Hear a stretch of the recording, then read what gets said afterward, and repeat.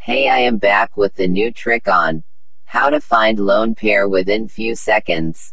First of all, we must know the formula based trick. So here is the formula. Steric number minus n equals 2. Lone pair. So this in trick, I mean to say this formula acts as trick.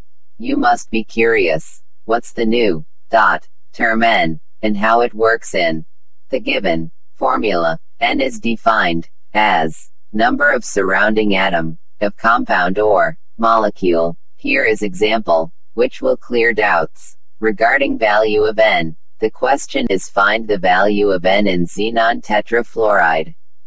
Xenon here is surrounded by four fluorine molecules. Therefore the value of n here is 4. In the last video, I have given detailed information about calculating steric no. Pause the video and take a glance towards this steric number theory. If don't know how to calculate steric number, then see my previous video. Video link is mentioned in the description. Now it's time to work on numericals. Example time. First we will take examples of molecules with no lone pair. So here we go. Let us start with AlCl3. That is aluminum chloride. Here the value of steric number is 3. How I calculated this? by simply adding valence electrons of aluminum with no of monovalence present, and all the stuff divided by 2. 3 plus 3 divided by 2. Hence steric number is 3.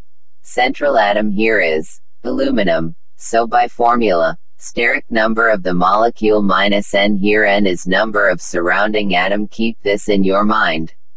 Hence by putting the values 3 minus 3 in the answer is 0. Yes, we got it correct. Aluminum chloride has no lone pair. Next example, we are gonna take is methane. Methane CH4. Methane has steric number 4. Central atom in methane is carbon. Surrounding atoms here are hydrogen, which are 4 in number. Surrounding atom are F. Our. By the formula, Steric number of the central atomness n, n here is number of surrounding atom present in the compound. Therefore 4 minus 4, Eules to 0. Hence lone pairs are absent in methane. Next example is carbon dioxide. CO2. Here steric number is 2. Central atom carbon, and surrounding atom present in carbon dioxide is oxygen. Here, oxygen, or 2 hence. The value of n is 2. By the formula steric number of central atom minus the surrounding atom. Lone pair equals 2. 2 minus 2, which equals 2. 0. You must solve this sums by various methods, but this trick is very assisting. Keep practicing. Be perfect. Once you mastered the trick, your time will be saved.